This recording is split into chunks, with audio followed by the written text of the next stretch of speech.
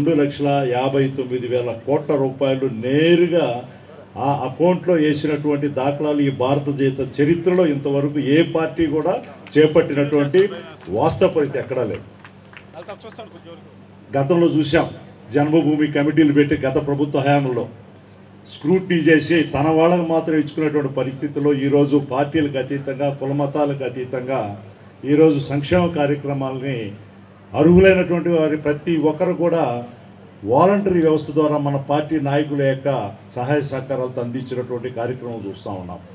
ఈరోజు పెద్దలు అందరూ చెప్పాలి చెప్పి మళ్ళీ చెప్పాల్సిన అవసరం అయితే కాలాతీతం అయిపోయింది. ఈరోజు విజయసాయి రెడ్డి గారు విజయసాయి రెడ్డి గారు మన నెల్లూరు వాసి. ఆయన వైఎస్ఆర్సీపీ పార్టీలో మేము ముప్పై ఒక్క మంది ఎంపీలు ఉన్నాం. నాతో కలిపి ఆయనతో కలిపి ముప్పై ఒక్క మంది పార్లమెంట్లో లోక్సభలో రాజ్యసభలో. మా అందరికి కూడా నాయకుడు ఆయన.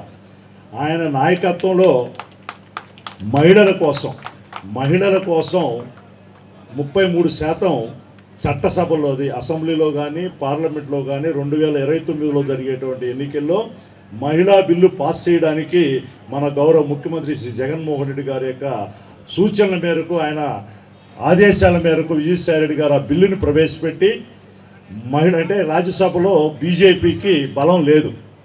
సంఖ్యాబలం వాళ్ళకి లేకపోయినా కూడా మనం మన పార్టీ ముప్పై ఒక్క మంది ఎంపీల ద్వారా సపోర్ట్ చేసి మహిళామ తల్లులు అందరూ కూడా ఇక్కడ ఉండేటువంటి అక్క జిల్లీలకి రేపు రాబోయే రోజుల్లో బ్రహ్మాండమైనటువంటి గౌరవం చట్టసభల్లో ఉండేటువంటి పరిస్థితి కలగజేసింది శ్రీ జగన్మోహన్ రెడ్డి గారు.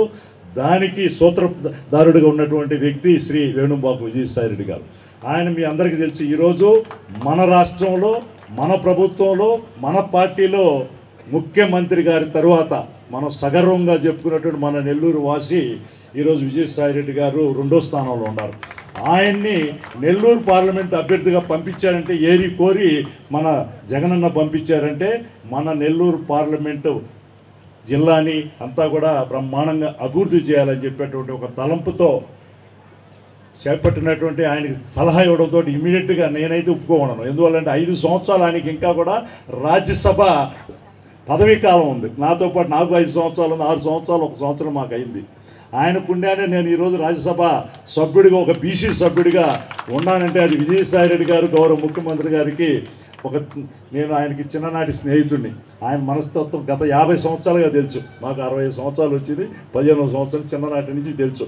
ఆయన ఎంత వ్యక్తిత్వం గల అంటే ఒక మాట చెప్పితే తల తాకట్టు పెట్టైనా కూడా చేసి చే- చేసేటువంటి వ్యక్తిత్వం కలిగినటువంటి వ్యక్తి అటువంటి విజయసాయి రెడ్డి గారును అక్క చెల్లెలు మన జగనన్న ప్రతిసారి మన అక్క చెల్లెలకి చాలా ఉన్నతమైనటువంటి గౌరవం పార్టీలో కానీ పదవుల్లో కానీ నామినేటెడ్ పోస్టులు ఇచ్చేటువంటి పరిస్థితిలో మీరు జగనన్నకి ఆదాల ప్రభాకర్ రెడ్డి గారిని ఈ నియోజకవర్గంలో ఆదాల ప్రభాకర్ రెడ్డి గారు మాకు పంతొమ్మిది వందల తొంభై తొమ్మిది నుంచి మేమంతా కూడా కలిసి అల్లూరు నియోజకవర్గం నుంచి సర్వేపల్లి నియోజకవర్గం నుంచి పార్లమెంట్లో కా నెల్లూరు పార్లమెంట్ కానీ ఇప్పటి వరకు ఏ పార్టీలో ఉన్నా కూడా ఒక విలువలతో ఉన్నటువంటి మేము అటువంటి వారు కూడా ఈరోజు ఇక్కడి నుంచి పోటీ చేయడం మేమందరం కలిసికట్టుగా మన పార్టీ యొక్క నాయకుల సహకార సహకార- సహాయ సహకారాలతో నెల్లూరు రూరల్ నియోజకవర్గాన్ని కానీ నెల్లూరు